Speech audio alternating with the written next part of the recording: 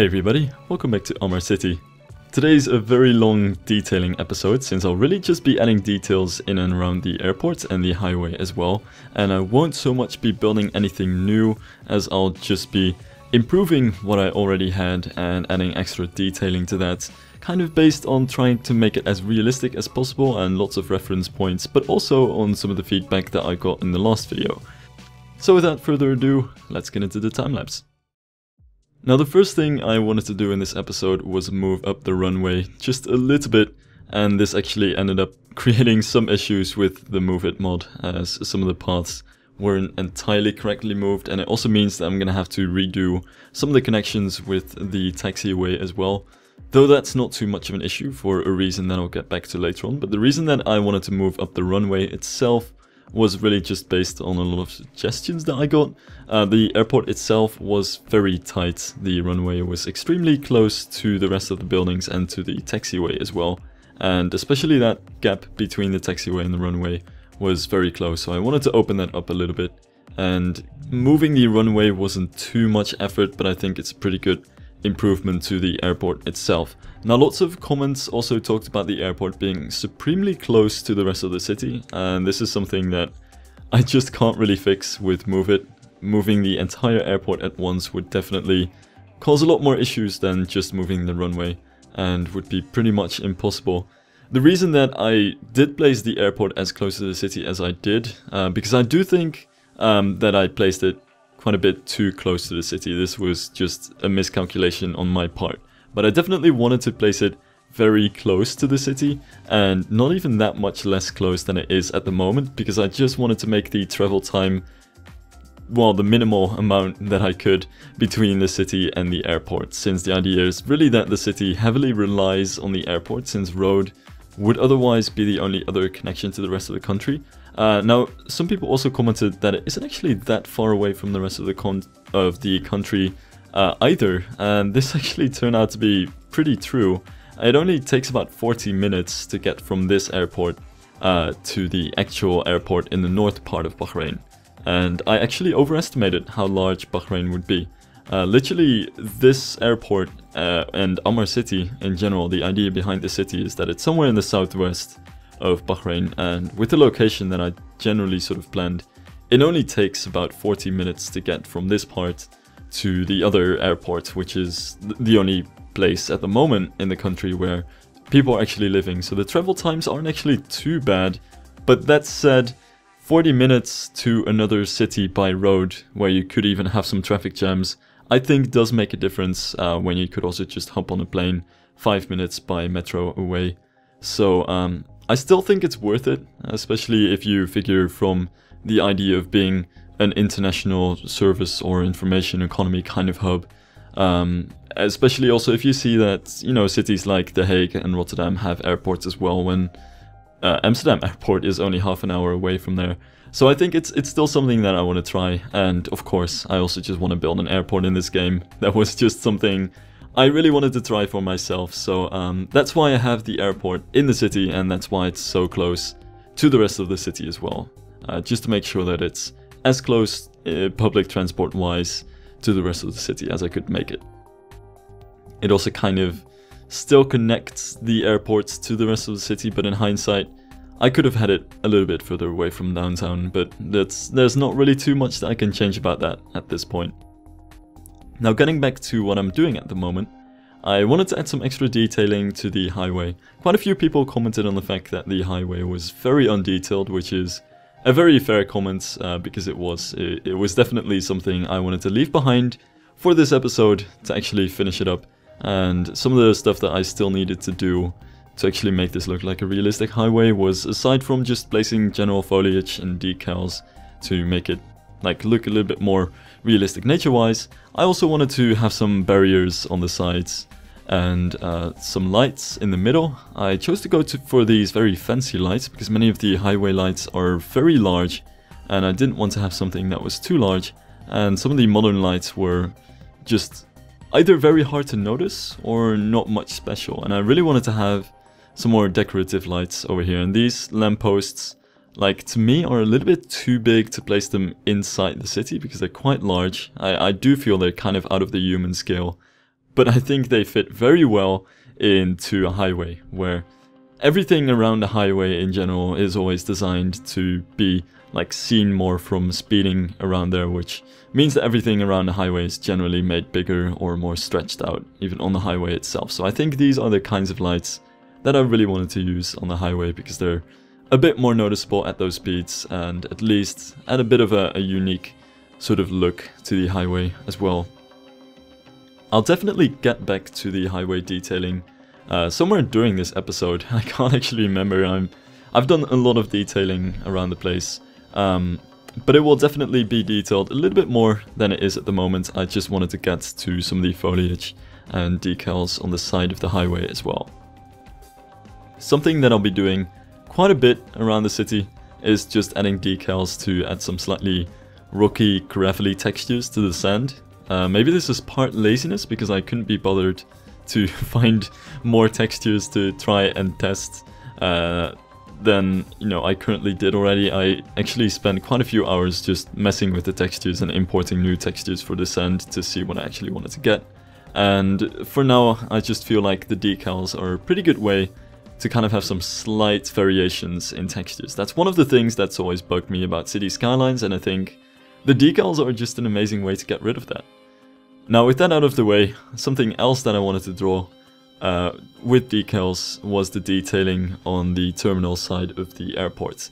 This enormous concrete area where everything that's most important for the airport is going to be placed and one of the first things that I wanted to do was to make it look as if they're actually concrete plates that are put in place instead of just a giant smooth concrete field. So here I just put the lines in to make it look like they're actually large concrete tiles and I definitely feel that helps out a lot because it really gives you that airport look. A lot of airports, well, pretty much all of them, do really have that sort of concrete plate look to them, at least the ones that I've been to. And I think that adds quite a bit to the look, but again, I'll kind of get back to that area as well at some point, but here I just randomly felt like going to this small parking lot and working on that a little bit you might find that I'm actually kind of all over the place when it comes to detailing in this episode. Um, but there's going to be some interesting stuff happening on uh, the terminal side of things when I want to be detailing everything in such a way that it actually looks as though planes could be guided around the place. And the same kind of goes for the highway in terms of doing stuff with curbs. I wanted to try some custom curbs. But anyway, um, I just quickly jumped to this parking lot because it was glaringly empty at the moment and just like something that kind of drags you out of the immersion of looking at the airport and I wanted to make sure that if I get some off-ride shots or if I get some pictures of the airport everything that you see is pretty much finished so I quickly wanted to get to that but I'll return to that later as well because I'm just kind of all over the place here. Now here is when I'm getting to the curves of the highway, and I thought this was pretty interesting. I've been experimenting with this a little bit, and I couldn't really find any curbs that worked together. Uh, it was either uh, like white, yellow combinations, or all just grey, and that didn't really work out too well. But I think the yellow plus black, uh, or, or grey in this case, which is kind of the black, works out very well as curbs. This is something that you see quite a bit in the Gulf area, where the curbs around roads are, are painted and uh, sometimes it's like red and white but in Bahrain I found that in a lot of places it's yellow and black. I'm not actually quite sure uh, what the real difference between it is. It's obviously very like obvious colors and ones that are usually meant to signal danger uh, which definitely makes it quite obvious where the ends of the road are. Uh, but that aside, aside from you know, looking at the map at Street View, just checking out where you actually find these things. I haven't really looked into why exactly curbs are painted in countries like this. I just know that it's something that the Netherlands doesn't really do, just keeps them grey. But it's something that you see around quite a bit in these countries, and I haven't really seen anybody try it, especially not mixing these different curbs together to make some black-yellow curbs. So that, that was something that I quickly wanted to try. And it also just makes everything look a little bit more fancy. Like there's a bit more of a neat transition going from the asphalt of the highway to the sand that's on the side of the highway. Now I tried for a little bit to get some different things to fill in the uh, divider between the two sides of the highway. and there wasn't really anything that I felt fitting as a fence at this point. There are quite a few highway barriers that I was thinking about using, uh, like these for example, but they all turn out to be too light and just have textures that didn't really fit. So in the end I just ended up using a wall for that and just left it at that. Now when we go to the runway over here, there's quite a bit of work that I had to do here and this is where the majority of the painting comes in. For one, I wanted to lengthen the highway. I've also got a comment that, you know, why would you keep the runway that short if you've got a desert anyway? Uh, that wasn't literally what that person said, um, but I think it makes a lot of sense. It's it's something that I could just very easily make longer. I don't per se need it, and it's definitely more expensive to have a longer highway, but in case that you do want to have jumbo planes landing here, that should now be possible. I know I wrote down the numbers, uh, I can't exactly remember, but this runway has been lengthened to a little over 2,600 meters, I believe. Yeah, that's it. And that was for the Airbus 380 to land, which I believe there are a few assets in the workshop as well. And those are also some assets that I placed, so still all of the planes that I placed are going to be able to land on this runway. Just means that the runway is a little bit longer to actually accommodate for some larger and uh, international planes as well. Which I thought was also kind of funny in the comment section, there was a pretty large discussion about uh, me calling planes international when they're uh, just medium range planes. And I, I, guess this is very much just uh, a sort of egocentric view of mine as a European where international flights are actually very short and with medium range planes. Um, because if you're in the US or a, a, different very large country, those would more usually be called intercontinental. But in this case, I, I definitely meant international planes in terms of a medium range. So I reckon a lot of the traffic in this place would come from places like Qatar or Dubai, uh, United Arab Emirates, stuff like that. So those planes should definitely be good for that kind of stuff. Maybe if you want to go to different places in Asia, perhaps even Europe, it could work. Um, but you know, it doesn't really matter too much because now we can just land big planes over here anyway. Now I've been meaning to catch up with what I've been doing on the screen because there's some stuff happening here. I wanted to get to the detailing of the runway and the taxiways most of all and this took most of the time actually. Um, because the game only comes with a few very simple washed out yellow lines on the middle of the taxiways, but they aren't quite realistic. And, um, well, I just really wanted to expand on that. I wasn't quite happy with how that worked. So, um, I wanted to get in all of the markings here. Now we have the yellow marking in the middle. in the middle? What? We have the yellow marking in the middle, which is pretty much always there from the game and that's just the marking that's sort of the guide for the plane to go over, uh, which isn't too exciting. Um, then on the sides we also have like the taxiway edge markings, which is uh, the markings that the plane should never ever cross. That's basically to keep the plane going in the right position pretty much. And then um, between the taxiways and the large field of concrete, we also have like the ILS holding markings, which um, makes like basically as far as I know it means that that's the zone where planes shouldn't be able to like thrive. It's like the do not move zone. It's basically where all the planes are parked to be boarded. And um, yeah that's that's sort of like you've got three zones. You've got like the non-movement area where the terminal is then you've got like the taxiways and then you've got another zone which is the runway. And for the runway as well we have those yellow markings on the transitions from the taxiways onto the runway, and hopefully that should all be correct. Although, as, as always, I'm always looking for feedback and critiques and anything to improve anything, um, but this is really as far as I found. Now, here I wanted to get to some of the terminal markings because that's something that you don't really see too often either and it's definitely not something that comes with city skylines. Uh, so one of the things that I wanted to get in here are just some of those vehicle lanes. I actually ended up moving those outward because they're too close to the gates at this point, so there will in the end only be a vehicle lane alongside the ILS marking over here.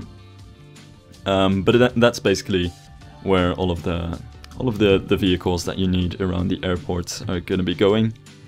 And um, we've also got some markings like these red ones which are quite a bit better than the extremely bright red markings which I tried a little bit earlier, are basically the places where um, I can't find the English word for it, but where you don't want to have like anything standing. So where no uh, no stuff like trucks or anything else should be, because that's where uh, your boarding thingamajig tunnel is as well. And uh, then there are some of the lines for the planes, and um, there are also some like horizontal lines on the yellow lines as well to mark like where which planes should be stopping. As far as I know, um, though I have to be honest with that, I just sort of randomly put those there. I couldn't actually be bothered to check out where exactly I had to put those lines, and even if I did, I wouldn't be able to get too many because I'm technically not even landing that many types of planes on this airport. Now on the side, and this is a little bit awkward, I have those like boarding things, um, the boarding bridges, but there aren't actually any planes that can connect to it at that close of a distance, at least not the ones that I wanted to use, so I'm actually not going to use those. I wish I could kind of remove them, um, because those are basically just the, the boarding areas for short distance flights or whatever kinds of other like small city jets or whatever you'd want to use. Um, and we still have some like boarding bridges over there, but that came with the airport building and I'm not too happy with happy having those there. You might have noticed I actually tried to remove them on the other side near the road by placing some buildings over them, which works out quite well. But on this side, it's, it's like a little bit of a messy thing, which I'd rather not see. As for the rest of the detailing, here I'm just marking out the areas where I'll be placing uh, some of the stuff, like... Um, I just keep forgetting the word for it. But anyway, all of, all of the stuff that you use around the airport. All of the vehicles and all of the materials and everything. And um, also directly underneath the planes, I just already wanted to add some of the detailing in terms of having the loading of baggage and fuel and um, the tows that carry the planes. Actually forgot to add some fuel, like um, fuel lines to it. Uh, so that's something that I might want to return to in the future and actually get that in there. Uh, but that's just a tiny detail. Aside from that, most of the detailing in here is actually something that I'm really happy with and I'm actually most happy with how the lines turn out. But also the decals, I think it adds quite a bit to make everything not necessarily look dirty, but just have some slight variations in how the concrete looks and also make it look a little bit darker because considering just how light the sand is and how dark I wanted the runway concrete to look, I think it helps out quite a bit to have these decals over here and have that slightly darker look to the concrete. Especially at some points where it might be dirty or where there might be some cracks. I think this is where the decals really shine in adding that little last layer of like shine. It's basically that cherry on the pie kind of elements of detailing, but it's it's always a fun and simple thing to add. I think the same counts for the concrete as the sand. It just makes it look a lot more interesting and realistic. Now finally, I wanted to get to the detailing on the side here, but I'm basically following just about the same procedure here.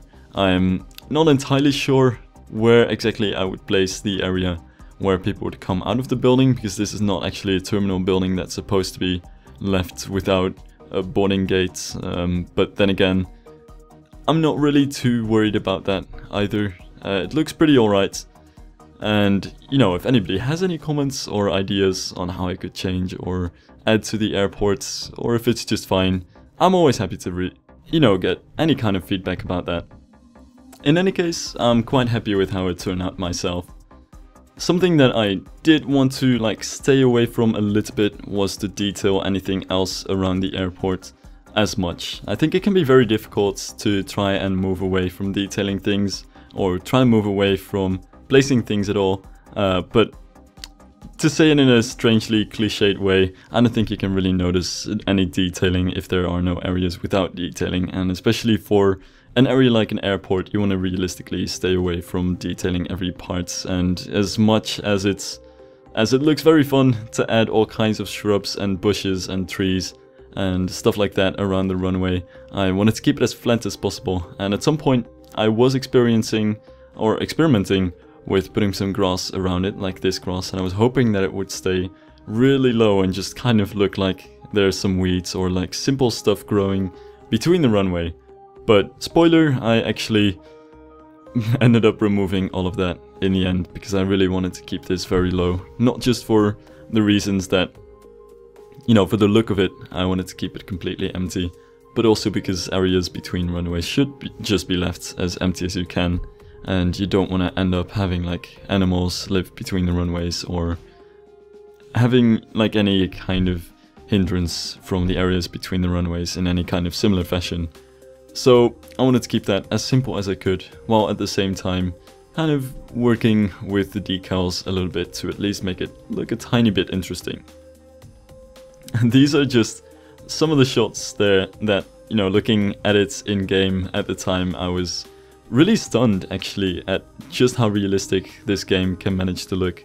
I think the lighting especially works wonders in this case as well, and how well the LUT works for the kind of climates that I'm going for as well. Uh, by the way, I'm still just on the realistic V 1.2 LUT, and as for the, the rest of the theme, there isn't really much else to it, although I do have to say, I do also use the ultimate eye candy, and as far as I know, I've actually set my global light intensity a little bit lower, and I think the same goes for the ambient light intensity, but it's not too much of a difference. I think the majority of how this map looks basically comes from the mixed themes, which I know I've gotten quite a few questions about this, but I'm extremely sorry. I can't actually share any given theme for this map because it doesn't have a theme. I just mixed themes together in the theme mixer and I believe there still are some custom textures in there as well. And I think that in combination with the realistic v 1.2 kind of gives the entire thing its look. That said, by the way, I still got quite a few comments about sharing a mod and asset list about this city, and I kind of feel bad about that because I update that almost every day, and I put a lot of work into making sure that it's updated, but I just forgot to put it in the description for the last couple of times, so that's that's a pretty bad thing going on there. Uh, so I'll be putting that in the description of this video, and if I don't forget, hopefully also in the descriptions of upcoming videos. If I don't put it in there, uh, feel free to call me out on it and I'll put it in the description. So here I wanted to get to some of the detailing of the other areas that also need some love. Basically for this airport in general there are a few areas we've got the main terminal and the places where you board. I've got a couple of hangars over here. I'm still not sure if that's actually how you pronounce it. Um, but yeah, I've, I've got a couple of like storage buildings over here. I guess that works where, um, you know, it's just general storage area. There will also be a distribution center for DHL. That was KLM at first, but I think it's a little bit more realistic to have DHL over here. And there are plenty of really good DHL assets for that kind of stuff, so hence why I figured to go with DHL in the end. And um, there's also going to be a small fuel loading station with a couple of like fuel things. And finally, there's going to be a heliport.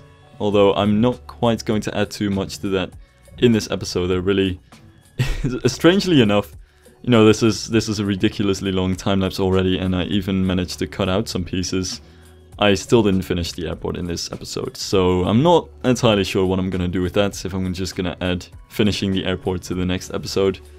But yeah, sadly, I haven't been able to finish it yet. There's just too much detailing going on at the moment. Although some of the detailing, like the detailing over here, is really just adding all kinds of industrial details to these backstage areas to make it like look like they're actually proper areas and not just standalone buildings and really make these these backstage areas come to life as well.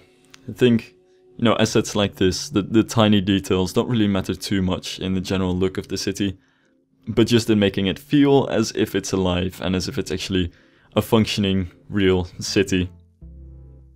A different thing kind of goes for the decals and the decorations around the highway here, because I definitely wanted to kind of give a, a good look to this part of the highway by adding all of the foliage and decals around these buildings, because in the end, this is also kind of the entrance into the city. These are some of the first buildings that you see around the side of the highway. So the, the office buildings here kind of form a bit of a sort of wall around the highway on both sides and kind of line them for pretty quick access to the road, but also to the airport, and to just be a sort of fancy highway scaled area to enter in. I think the thing about this is that, you know, architecture around highways, like office architecture especially, is never really going to be too interesting, but I think it fits around a highway like this because it's it's not too much in a human city scale as well, and you'd rather want to have buildings like these on the edge of your city around your highway than in the middle taking in the middle of your city taking up an entire city block where there could be some more smaller interesting buildings. But you know, that's just a personal thing. That's something I kind of feel about it though. So hence why I wanted to put these very strictly, obviously boring office buildings on the side of the city on the edge here alongside the highway. Along with some general foliage to make it look like it's not a completely barren desert, or as somebody made the pun in the last comment section, Bahrain desert. Um, but actually there's there's quite a bit of foliage and grass in there as well, as if it's some dunes kind of area. Now here I got to the DHL area very quickly, but I didn't really add too much to it yet, just some basic ideas of what I'm going to do with that later on. I did want to add some of these concrete plates again though, just to make it look like it's actually a proper set of concrete tiles instead of just a large field of concrete. And then I wanted to get to quickly setting up the heliport area in a very similar sense because I had the concrete tiles at this point anyway. Now, as far as I know, the reason that airports sometimes have heliports as well is because uh, I believe helicopters even though they can in many situations just uh, get up in, in a vertical way, sometimes they would actually just need to use the uh, runway as well for a sort of standard takeoff. So having them besides a runway is actually a bit of a handy thing. I'm not sure if there are any helicopter experts who could chime in on that, but that's basically the reason why I put a heliport on the side of this as well. And even if it wasn't the reason, I would have no idea where else to put a heliport, and this is just for any kind of type of helicopter which you might want to use around Amar City. So it's just a bit of a an added facility to the airports in that sense, and I thought it was an interesting extension for the airports. You could see that the airport is actually getting used quite a bit at this point. So at once that's pretty nice. On the other hand, I've noticed that sometimes airports start getting stuck in the middle of the sky after taking off. I'm not quite sure why. You might have noticed it by shadows or maybe some parts in the uh, cinematic shots in the beginning of the end of the video. But yeah, I'm not sure why, but planes start flying in circles in the middle of the sky and I'm gonna have to get the advanced vehicle options and actually get those things out of there. But until I do, we're pretty much gonna have to deal with those things being stuck there. That's a little bit unfortunate. But aside from that, I guess it's good to see that the airport is actually getting used. One of my initial, well, fears was really that the airport wouldn't get used whatsoever, because that's something that I was very afraid of with the population of the city being not that high, but I'm glad that at least airplanes are using it quite a bit. Now, as for some simple detailing around the heliport, there's just some parking spaces around here for whoever would want to work or use the heliport. Same kind of goes for most of the other facilities. The fuel loading station has some general basic parking spots and also some parking spots for the Shell fuel trucks that are going to get in there. And um, basically all of the industrial areas have their own parking spots. So that's all quite simple and nothing out of the ordinary there. I also wanted to decorate it in a very similar way with some fences and decals and some general industrial de detailings to make sure that it actually all kind of looks alive a little bit. And I ended up doing the same over here. That said, I didn't end up detailing things too much. I didn't want to go too in detail because I still kind of feel like I want to give everything a similar level of detailing. And this can sometimes be a bit of a, a, a difficult thing to think about. Usually, or very often, I think the way people build cities and the way that it's probably best to do it is to just get a general layout done and kind of focus on some most important areas and, and areas that you definitely want to look at and detail those. Um, so to take for instance Crumbs McGee series, which I know I've shouted out recently before, but it's it's really cool to see how he's doing like all kinds of intersections. Um, so yeah, definitely check out his link below in the description. But um, he, for example, makes some extremely detailed intersections at some places and adds all kinds of detailed small parts of cities, but just the general layout of a city is often just left in general because there's no way that you can detail every single part of a city and in Amar City I kind of want to reach a balance between that. I don't want to go too extremely detailed that I'm like adding separate objects for every square meter of the city or for every square meter of part of the city, but at the same time, I do want to add some detailing that if you zoom in on the city, it still looks like it's a real city. So I'm trying to kind of hit the balance between enough detailing where it actually kind of looks real and there's some interesting detailing going on uh, in the entire city while at the same time not too much detailing that it becomes impossible to have the same level of detail around the entire city. And I think this is just a bit of an approach thing. I just personally like,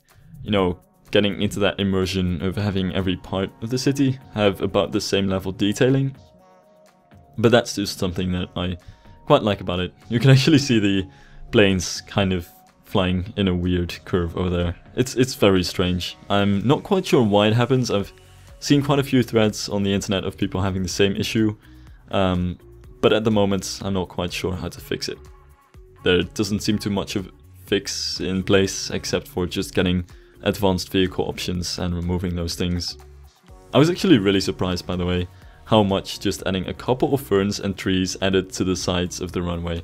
I didn't want to really add any advanced foliage besides the runways themselves or in between the runway and the taxiways. Not quite sure why I'm talking about the runway as plural, but um, I did want to put like some simple foliage around the sides of the buildings of the airport because it doesn't really matter too much, but I think it, it gives you a bit of a nicer transition from some of the buildings into the empty spaces of the runway and I'm actually quite glad with how that all turned out. Now as the very final part of this episode, I wanted to get to the other side of the highway and kind of add some detailing to that. It's not quite as much as I would like in the end, so I might get back to this as well and actually place some cars on those parking spots.